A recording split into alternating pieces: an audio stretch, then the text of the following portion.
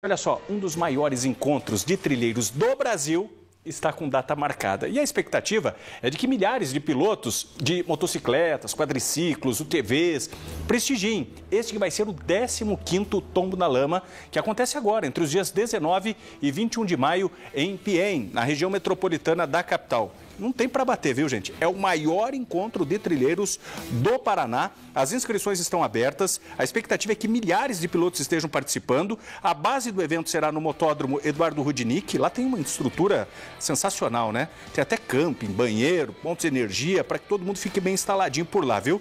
E no local haverá ainda praça de alimentação, com várias opções, parque infantil, shows musicais, estacionamento, tudo com acesso livre e o melhor, gente, olha só a segurança reforçada, hein?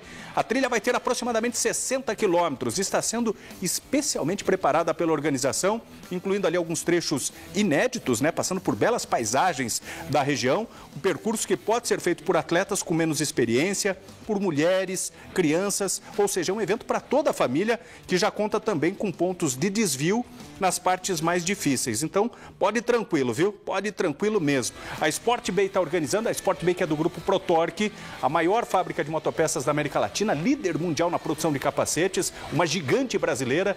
Vai ser, sem dúvida nenhuma, mais um belíssimo evento né? Esse que vai, vai, acontece agora, né? entre os dias 19 e 21 de maio, 15º Tombo na Lama, com a Sport Bay organizando tudo. Parabéns aos organizadores, tenho certeza que vai ser muito legal e claro, né? na sequência a gente aqui na programação da Band, a gente vai falar mais a respeito desse belíssimo evento que reúne atletas do Brasil e até mesmo de outros países, principalmente da América Latina.